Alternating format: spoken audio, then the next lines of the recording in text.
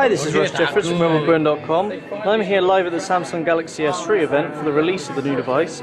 Uh, you can see I've got one in white here in my hands. Uh, it's a fairly sleek device, um, supposed to uh, be sort of quite a natural design, so they sort of base the, the sort of the layer on a pebble. You can see it's quite rounded on the back. Um, also takes various styling cues from leaves and other bits of nature apparently, like the water and that. Um, it's got a large 4.8 inch HD Super AMOLED display up front. You can see it's absolutely enormous. Um, quite a nice high resolution as well, being HD. Um, it's also got a 1.4 gigahertz quad core processor down inside, so you can see it's fairly instant, everything's quick. There's a gig of RAM as well, just to keep everything shooting along really fast. Uh, it's running Ice Cream Sandwich, as you'd expect, so the latest version of Android as well. Uh, there's an 8 megapixel autofocus camera around the back with an LED flash and then a little speaker grill there. The uh, 3.5mm headphone jack up top as well. Um, it's got a 1.9 megapixel camera on the front there as well uh, for video calls, and then a couple of sensors, ambient light sensor on that up front too. Um, also got uh, a 2100 milliamp hour battery inside as well, so it's a pretty big battery for a device like this, um, and also a micro SD card slot.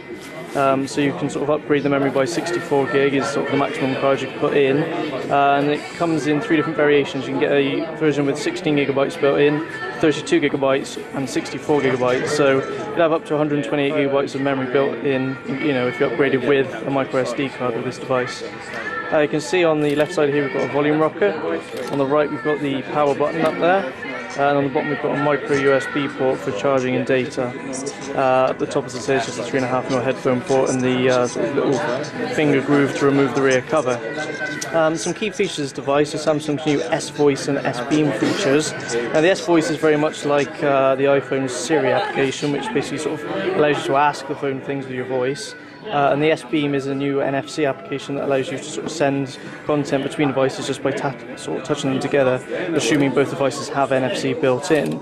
Um, you've also got things like Samsung's All, Care Share, All Share Cast and All Share Play, sorry, uh, which allows you to share things with your friends. So uh, it's quite a well-stocked device. Uh, it's running uh, Bluetooth. Well, sorry, it's got Bluetooth 4 and also Wi-Fi as well. Running Samsung's TouchWiz for uh, user interface as well.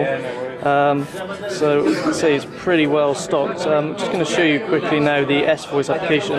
Uh, you supposedly can just activate it by just speaking to the phone saying "Hi Galaxy," but uh, there's very few people seem to be here that are actually able to get that work. So let's give it a go. Hi Galaxy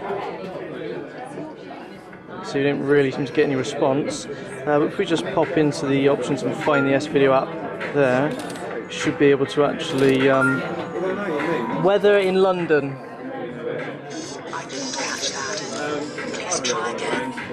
You're not getting it right now. Hi Galaxy. I got it that time. Weather in London. There we go, we got it that time. And it brings up the weather for you. So, very much like Siri, but it's very, uh, very much struggling to actually recognise people's voices in this loud environment, uh, which is a bit of a shame. Um, bottom here you can see as well we've got the uh, sort of actual hardware home button and then uh, two sort of soft keys either side. Very, very difficult to see the soft keys on the uh, white models. You can see the illumination's white as well so it makes it very difficult to actually see the keys. Uh, the button on the right here is a back button, and the one on the left is a menu button, uh, so you don't get the sort of multitasking button that some of the recent ice cream sandwich handsets have come out with. Um, but to be honest, I quite prefer having the menu button at the bottom, um, it's a lot easier than the, uh, the, placement of the menu button on my HTC, uh, which if I just get out now I can show you the difference in size between the HTC uh, One X and the uh, Samsung Galaxy S3. So they're fairly similar in terms of size. Even the screens are fairly similar. I mean, obviously only 0.1 of an inch difference uh, in, the, in the favour of the Galaxy for the larger. Um, in terms of thickness as well, it's hard to show you with uh, one hand, but they're roughly the same thickness. Um, maybe the Galaxy is very slightly thicker because obviously it's got the um, uh, the, the room for the uh, micro SD card and uh, a bigger battery in that. Another great feature of the Samsung Galaxy S3 is its ability to uh, multitask very well with video. So if I just open up a video quickly here, uh, let's just pick one like this one for example. So we start playing that. You can see the quality of the uh, HD screen is very good. But say we wanted to go and do something else, like write a message now, we could just tap on the screen, use this button in the bottom corner here, and it just puts the video just on the home screen for you, so you can just move it around wherever you like. Uh, you can move across, open up a message. There you go, you can read a message and the video's still there. So we could even tap out a whole new message and reply whilst watching our video. So that's pretty neat and then once we're done we can just tap back on the video and it will come back up again full screen. So that's fairly impressive for a mobile phone to be able to do that level of multitasking. Another one of the Samsung Galaxy S3's key features is its camera. So if we just open it up here, can see uh, not the best environment to take a photo in, but we can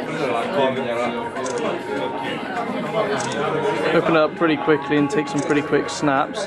Um, got a few different settings here as well. Self-portrait, flash, got shooting mode. So if I change that, got HDR, burst shot, small shot, various types of things. If we just put it in burst shot, so I can show you. You can see it takes quite a few photos quite quickly um, and you can even turn on this function oh, this function at the top here, best photo.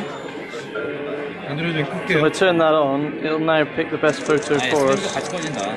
What it perceives as the best photo.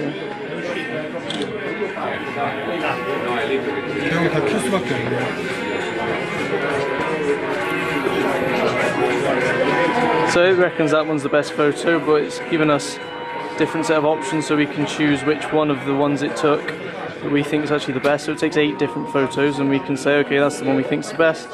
Done.